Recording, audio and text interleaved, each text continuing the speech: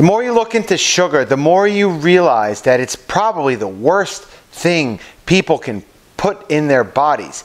Let's talk more about it. Hey there, NJ, Route22.com here with another kind of low carb, keto, carnivore vlog. We're going to touch on sugar again. We've talked about sugar a lot. Sugar is a big deal.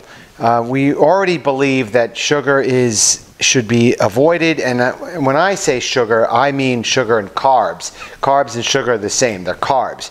Um, but there's uh, all sorts of different kinds of sugar, like fructose, glucose, and sucrose, which is basically uh, the combination of fructose and glucose, which is, uh, I think, table sugar. But uh, fructose is the natural sugar that's in fruits and, and so on.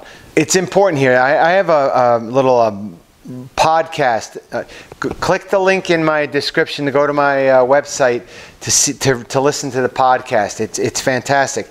But basically, the bottom line is it's been proven that our entire species should not be eating sugar like fructose, like fruits and, and stuff like that, unless you're trying to build up your body fat to endure a long period of starvation or minimal food. That's basically the, the, the makeup of the human body. You shouldn't be fattening yourself up unless you know for certain that there's going to be some sort of period of starvation. Like, uh, like six months in the winter, we're not going to have anything to eat. Let's get as fat as possible so we can survive for six months on like just like a nugget a day that we saved up. And then once the, uh, the bounty comes back in the spring and things start growing, we can eat normally again.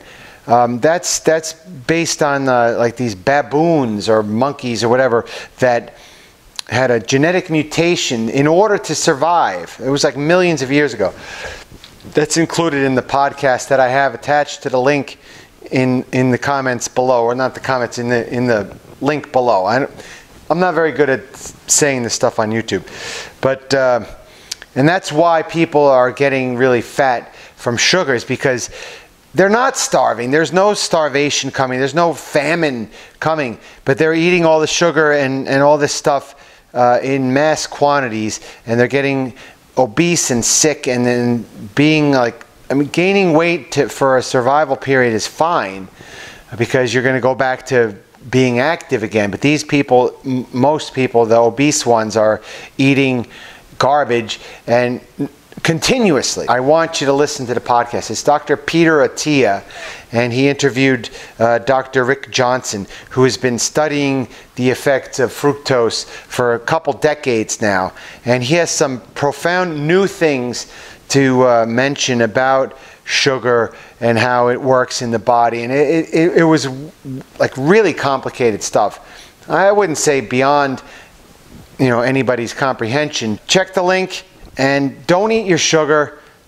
Keep your blood sugar low. Don't spike it. Stay in ketosis. Eat your meat, high fat meat, and um, don't eat too much protein if you're not active enough. And that's it. Hit the like and the subscribe. I apologize if I rambled. It's really late. It's like 4 in the morning, and I'm in my uh, garage studio here. So this is, uh, it's hard for me sometimes.